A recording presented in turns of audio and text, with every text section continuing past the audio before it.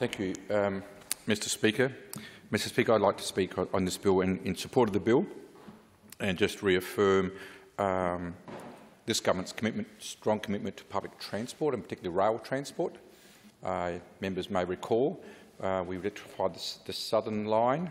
Uh, when last time we were in government, uh, we initiated the electrification of the northern line to Gawler when we were in government. It was, it was Yes, it was. Um, I was going to say it was completed by the Liberal government. It wasn't actually. It was actually completed during the period of a Labor government again, because the Liberal government took so long to get the act together.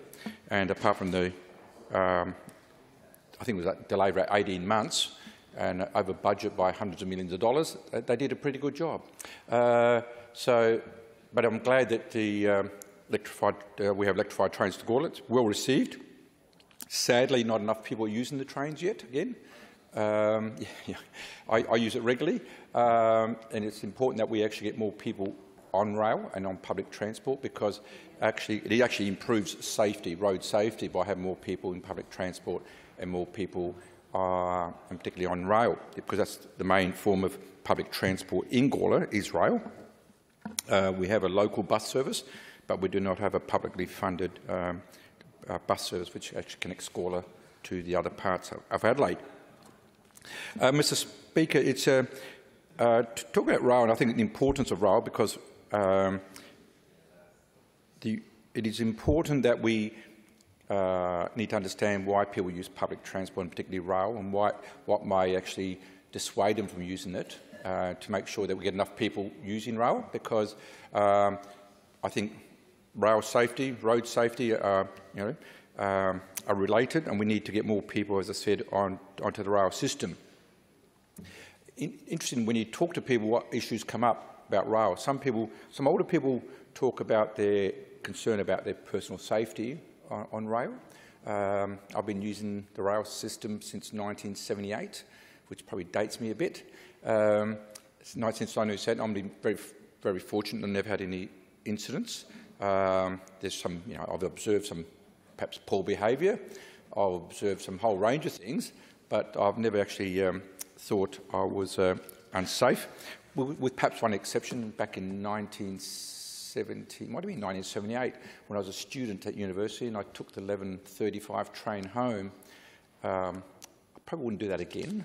Uh, when I was as an 18-year-old and on the train that night, and um, it was interesting clientele on the train that time of night, people who perhaps uh, sleep different hours to the hours I sleep. Uh, but apart from that, uh, I've been very happy with the train service and the new trains and the new electrified, electrified trains are really good uh, and well received. The other issue, though, which is an important factor, uh, which determines whether people use rail, particularly rail more so than buses, is timetables. And we need to uh, and I'm, I'm, aware that the, this government will review the timetables once we have the full electrified stock for, for the service to Gawler. And I'm certainly will be working with my community to make sure that we get a time, time, timetable, uh, train timetable, sorry, which, is, uh, which reflects the needs of people in Gawler and in my electorate, particularly the, uh, which cover the um, train stations of uh, Gawler Central, Gawler Oval, Gawler, um, Evans, the racecourse on race day, uh, Evanston, Tambelin, Kudla, which is a train station I used to go as a student, which is in my where I live, and also then of course Manapara. Smithfield's not in my in my electorate, but it serves serves quite a bit of my electorate because it's a priority train station, and Tambelin and sorry and Munno Para isn't, even though Munno Para has got a, a $13.5 million uh, train station uh, not quite used as much as it should be. And that's an important factor when I've been talking about time, train timetables, because those stations uh, which are priority stations obviously get more patronage, and that makes sense. Uh, unfortunately, those stations are not necessarily the ones which have the best infrastructure. And we do need to, yeah, we need, do need to actually match up what the infrastructure is available and to reduce the, the, um, the need for additional infrastructure. And I I'll give examples would be, for example, Smithfield and Gawler stations, probably the, uh, the other two stations which are priority stations. And um, when we get back to normal levels, the car parks are full. By nine o'clock, they are chock-a-block. and that it's very hard to, and people then start parking in side streets, etc., uh, cause nuisance. So those two stations at some point will need some additional infrastructure. My view would be that if we actually made a couple other stations, priority stations where the infrastructure exists, um, rather than be empty car parks, we could actually use those. So I'm hoping that the investment we're making at Tambelin and Tambelin Railway Station, Mr Speaker, uh, Mr Acting Speaker, I, I should mention is uh, talk about safety, is the safety of people getting to the train station, getting on the train, is, is actually an election commitment we made. Um, and it was actually an election commitment we made in 2018. Unfortunately, we didn't win that election. Um, the Liberal government did nothing at Tambelin Railway Station to improve it. Uh, we've made, I made that same election commitment this time. We did win the election this time, so uh, our government is now delivering on that election commitment. And that commitment, Mr. Mr. Uh, Acting Speaker, has been fully assessed and by the community. The commitment was made very publicly uh, and is one which is supported by the community at large. And I get regular letters and correspondence from people in that area saying when is the car park and the uh, kiss and drop-off zone uh, going to be built. So we will do that because I think um, public transport has to be accessible, which leads to my third point about making sure that we have uh, a, a safe rail system is that uh, it has to be accessible to all people. And Mr. Mr. Mr. Acting Speaker, uh, we are improving infrastructure, and Tambelin Station is one where we had a number of complaints about people in, with gophers and other mobility aids have found it very difficult to actually access. And also the quality of the infrastructure at the station uh, was pretty poor, and it took quite a, bit of, quite a while to convince uh, the government of the day, uh, the Liberal the Liberal government to actually improve the, the, actual infrastructure on that station. It has been done, and certainly the people appreciate the additional services there. Uh, the other thing about rail safety is rail safety, rail safety is obviously uh, making sure that people um, can see the crossings quite well. And we do have an issue with some rail crossings where, unfortunately, during peak hour traffic uh, and the way the, the roads are aligned, uh, you do have the, the, actual afternoon sun right in front of you or the morning sun right in front of you and does actually does cause some, some issues. But, um, but we actually have, have, improved the signalling at those stations and those roads to improve ro rail safety. Mr. Mr. Uh, Speak, Mr. Acting Speaker, one of the other things about uh, trains is the demand for trains. Um, we have a whole range of people in our community who are train enthusiasts. Uh, I get regular correspondence from some train enthusiasts uh, and are very keen to know uh, about the government's commitment, which I have no doubt will be honoured. The government's commitment to undertake a full feasibility study of extending perhaps or starting up some sort of, uh, or no, I should rephrase that, uh, undertaking a full feasibility to, under, to see whether a tourism type train can actually operate from Gawler into the Barossa. Uh, my, my, discussions with the department indicate that um, money has been uh, allocated for that project uh, and they're likely to get an external, an independent external consultant to work uh, on that project uh, with a range of people from the Barossa, people actually acting as a steering committee. Now, Mr Speaker, it's interesting because uh, it's interesting that people in the Barossa think this is a good idea. Um, unfortunately, elected members to this place don't think it's a good idea. Everybody else, everybody else seems to think it's a good idea. But I think the previous Minister for Transport, also the Minister for, sorry, the member for Schubert, did his best to actually um, put enough barriers on that, on that line that, uh, to ensure that perhaps a tourism train will never eventuated. And I think, I think in part was his, his, his dispute he had with a particular owner of a winery in that area which carried forward, uh, which, is, which is really sad because at one stage they were going to actually do some repairs for, to one bridge for road safety reasons just outside Lyndoch, and the repairs to the bridge or the, the reconstruction of the new bridge would actually mean this, the line would actually be cut off there. If that happened, it would actually kill off the project. I'm happy to say that uh, I'm advised by the department now the revised plans will keep that line intact. And so from Gawler to Tanunda initially, and perhaps one day from Gawler to to uh, Nuriootpa, we will actually have, have uh, tourism-type trains. The biggest beneficiaries of this investigation into that feasibility of the viability of this proposed train service for tourists, um, Mr Acting Speaker, would be actually the people of the southern Barossa area. Um, they're very supportive of this.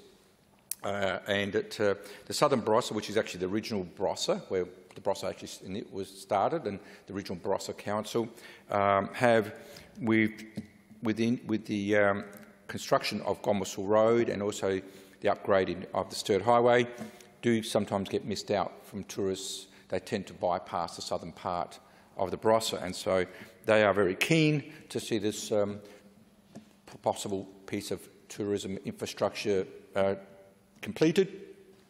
Uh, we have made it very clear, though, Mr Acting Speaker, that as a government, we, while we support the feasibility, it's not going to be a proposal which will be funded by the government. It has to, be, has to work. The private sector have to make it work. And our, our role is to, to help the private sector work out what needs to be done uh, and also what needs to be done with terms of the people who actually now actually have the lease over the line at the moment. Uh, I think it's called One Rail these days. Or may, may, I think it's still called One Rail. They've changed the names a number of times in the time I've been in, in this place. Um, that we need to negotiate also lease arrangements. So that would that tourism train could actually bring enormous benefits to the southern uh, to the Barossa, and a number of rail enthusiasts have actually made drawn to my attention the success of such trains in not only overseas but also in the eastern states. There's a, there's a number of, of um, trains which, do, which actually do rain quite profitably for tourism purposes. Some, some suggestions have been made for the possibility of extending that line for uh, the transport of goods um, out of the Barossa to, to the port. I'm not sure the feasibility of doing that, but certainly there are a number of people in the Barossa thinking ahead in terms of decarbonising the, the component part of, the, of their product. And with Europe, which is a major market, with the, Euro the European market um, imposing a whole range of new conditions about, uh, about uh, carbon, etc., the carbon footprint, uh, we need to make sure that our industry is able to make sure at the forefront of reforms and can deliver their products in a more uh, carbon-reduced manner because or else we will, we will, actually not have entry to some of the markets. Uh, Mr Speaker, as you can tell from the comments I've made, that I'm a quite great supporter of rail in this state. Uh, not only great support of rail in this state, but also uh, the benefits of rail, uh, particularly uh, not only as tourism as expected, but also as a, as a passenger service. Uh, it was interesting that um, uh, when the, the, the Gawler line was closed down for the reconstruction and electrification, the amount of traffic in our roads did increase at the northern end on our roads. And, uh, and sadly, though, um, not everybody has returned to the train stations. They were down for so long, people found alternative ways um, of getting to Adelaide. And I'm sad to say that actually the Northern Connector works that well that people now see it as a, a viable alternative to using rail, except if you have to pay um, um, petrol prices are, are, helping to put people back on the trains as well. Uh, if you own a car and you have to pay the petrol bill every week, uh, rail is a very convenient substitute and a very um, useful substitute. Uh, Mr. Mr. Speaker, in terms of the, um, the bill before us, uh, the, the Rail Safety National Law, South Australian Miscellaneous Amendment Bill, uh, is is about rail safety and it's part, uh, it's part of our national laws. Uh, we are uh, moving more to national laws, uh, which, is, which makes good sense because uh, we are one nation and we should have as many possible consistent laws across state boundaries as possible. Uh, and that was certainly envisaged in the Constitution too, where um, you weren't supposed to put up barriers between trade between states, which so that was acknowledged that there should be as less possible uh, barriers between the states. The first group of amendments in this bill, uh, Mr uh, Acting Speaker, uh, make it an offence for a rail safety worker to knowingly provide a document or information for the purpose of an assessment of the worker's competency which is false or misleading or that omits something which, without which the document or information is misleading. Uh, I think that's a, it makes a lot of sense to make sure that we have people working in the sector who are appropriately qualified to do the work. Uh, the repercussions of having somebody who's not properly qualified can be quite serious. And as an aside, Mr. Mr. Acting Speaker, uh, which, and I had this case recently, is that, and I won't particularly mention the industry or identify the person, is that um, with a lot of the training being privatised and put in RTOs, etc., um, it would be fair to say some of the quality and consistency of the training uh, nationally is, is, is subject to, I think, review. I had an example where I had a, a person who undertook a particular professional qualification interstate.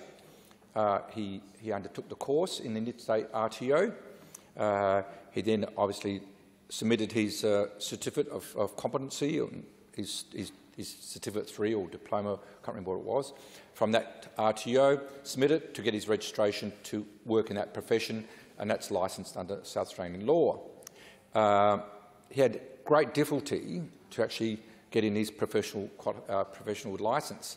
And um, in the end, after some to and fro, and he did so, but the South Australian agency was reluctant to actually pr provide this person with the uh, necessary documentation to get this person's licence because he had concerns about the RTO. Now, that is a worry if we have people paying good dollars to, to actually obtain the necessary, necessary training, qualifications and competencies if they are then, uh, if, the, if the quality is not up to scratch, uh, are then denied an opportunity to work in that profession they've trained for. So um, I'm hoping, I'm, I'm, i have no doubt that the new federal government, uh, it, with its commitment to TAFE uh, and its commitment to live, lift the skills and training standards in this country, as this government is as well, the, the state Labor government is, will actually iron out those problems and ensure we have a much better resourced TAFE system, but also a better resourced and consistent vocational education system across the country. But I'll go back. I'll get back on track, Mr. Uh, if you excuse the pun, Mr. Acting Speaker. Uh, the bill also amends the national law to provide National Rail Safety Regulator with a new power to exempt all rail transport operators from Section 140 of the national law in the event of an emergency. And I think that's it's important. In case you have an emergency, it's a case of all hands on deck, and you need to do, and somebody needs to take control of. Sorry, on board. Yes, steaming ahead. Uh, Mr. Mr. Acting Speaker, so Section 140 of the national, of the national law requires a, a, rail transport operator to prepare and implement a health and fitness program for rail safety workers who carry out rail safety work for the operator. Now, there are some, there are some risks in doing that, but I think, I think the risks are less so um, compared to if you don't act in an emergency situation. The bill was, uh, Mr uh, Acting Speaker, was, the bill was developed in, in consultation with the National Transport Commission, all states and territories, the Office of the National Rail Safety Regulator and members of the rail industry, including the Australasian Rail Association and the Rail, Tram and Bus Union. Now, Mr Speaker, this provides an excellent example of what you can achieve when you consult relevant parties to achieve national reform or any major reform. And earlier today, uh, this House passed a bill which again was a major reform, the Shop Trading Hours Bill, and that was achieved because the government of the day, the Labor government, consulted with all the parties. We got people on board, uh, on board. Uh, and so if you consult people rather than undertaking, undertaking unilateral actions, which the former Treasurer did in relation to shop trading hours, we would actually just provided all these exemptions willy-nilly um, and nobody knew where they stood. By working with the relevant parties, you actually get good laws and everybody knows where they stand. Mr Acting Speaker, uh, uh, in relation to the new offence provision, a rail safety worker is re relevantly defi defined as, as, an individual who has carried out, is carrying out or is about to carry out rail safety work. Rail safety work includes driving or dispatching rolling stock, such as a train or tram, or any other activity which is capable of controlling or affecting the movement of rolling stock, coupling or uncoupling rolling stock, work, work involved invol- sorry, work involving the development, management or monitoring of safe working sys- systems for railways and work involving the management or monitoring of safe, passenger safety on or any other railway. So the role issue of passenger safety, Mr Acting Speaker, is very important. For those, with those comments, Mr Acting Speaker, and for those reasons I've outlined, I think this is a bill worthy of our support. A comprehensive and wide-ranging contribution from Member for Light. The member for Waite. Thank you, Mr Deputy Speaker. I rise today in support of this bill,